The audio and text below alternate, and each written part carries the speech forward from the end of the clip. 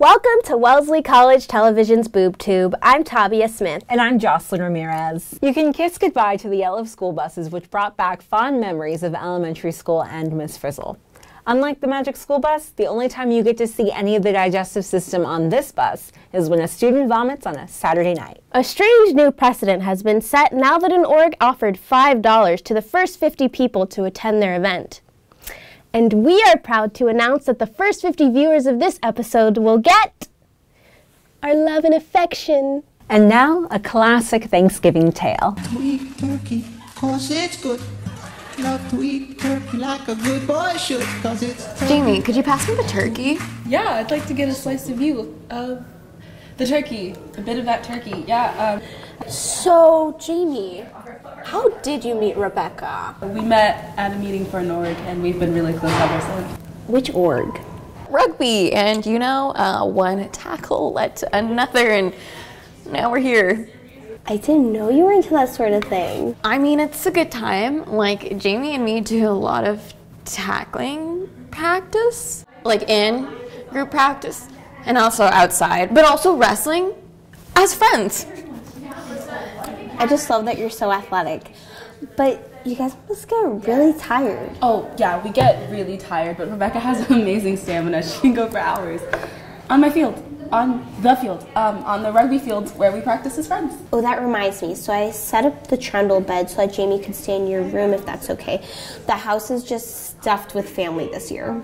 Yeah, that's fine. I would like my friend to stay in my room. I definitely don't mind being on bottom. On the trundle. Yeah. So what do y'all do on the weekend? Um, last weekend we went to Dyke Ball. Bike ball? Uh, it's like a group event party thing that's Wellesley only that we went to as friends, and we rode things like bikes and each other. So you can ride tandem.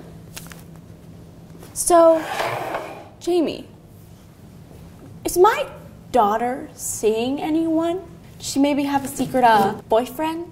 Dad, I don't have a boyfriend. We've talked about this. Yeah, I mean, as far as I know, Rebecca's the top of her class. But we do homework together very studiously. I, for one, am glad that you two are keeping each other company. Well, yeah, we're um we're dating. Mom and Dad. We're girlfriends. Wow, I just love how women's colleges just foster such close female friendships. Thanksgiving. The Spice Girls have recently announced a reunion tour without Posh Spice Victoria Beckham. This means the spice level is finally palatable enough for white taste buds. The midterm elections was a night of many firsts.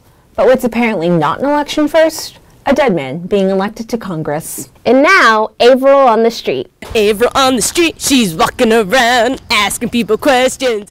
Averill in the sheets! Oh my god! hey y'all, today I'm gonna be talking to people about the Wellesley Crush Facebook page, where people can post anonymous posts about their love for their friends or their friends. So, have you ever submitted or received a Wellesley Crush? I have submitted a Wellesley crush. I've never received a Wellesley crush. I know. Send one out, oh folks. I think I've written you a Wellesley crush. received two and I've submitted some, but like it's usually like, oh, like this group of people did great in this performance. If we're gonna take it as a not romantic thing, I love my friend Katrina, who's over there. I've sent one before too, Yeah. but I feel like I don't want to say who I've sent it for. I feel like it's when your mom is like, "Yeah, you're the best." I like to surprise people with like, you know, I was like, oh my god, surprised you're loved. Who is your Wellesley Crush? I feel like there's a lot of people who I really appreciate and I tell them in person, but it would also be exciting for them to get like secret phrase. It would either be for our beloved child Katrina Chen, Yes. love you baby, or Honestly, so many people who go unappreciated in Wellesley. So I think that sometimes it's the people that need it the least who would appreciate it the most. Wellesley has a lot of love to offer.